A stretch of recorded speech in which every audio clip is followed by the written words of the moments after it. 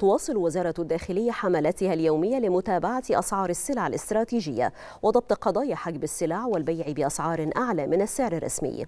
تمكنت الوزارة خلال 24 ساعة من ضبط 846 قضية تموينية مستندية وعينية بمضبوطات بلغت قرابة 682 طن مواد غذائية وغير غذائية. في مجالي حجب السلع الاستراتيجية والاستيلاء على السلع المدعومة. تم ضبط قرابة 112 طنا. وفي مجال حجب أرز الشعير والأبيض وعدم توريد أرز الشعير. والبيع بأعلى من السعر الرسمي للأرز الأبيض. تم ضبط قرابة 524 طنا. أما في مجال عدم الإعلان عن الأسعار بقصد البيع بأعلى من السعر الرسمي للسلع الغذائية وغير الغذائية. فقد تم ضبط 16 طنا. وفي مجال البيع بأزيد من السعر لمواد البناء تم ضبط 30 طن أسمنت.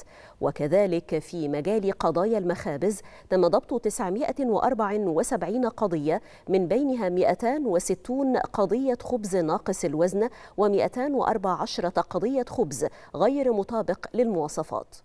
وفي مجال القضايا التموينية المتعلقة بغش الأعلاف والبيع بأزيد من السعر تم ضبط 18 قضية بمضبوطات بلغت أكثر من 188 طناً.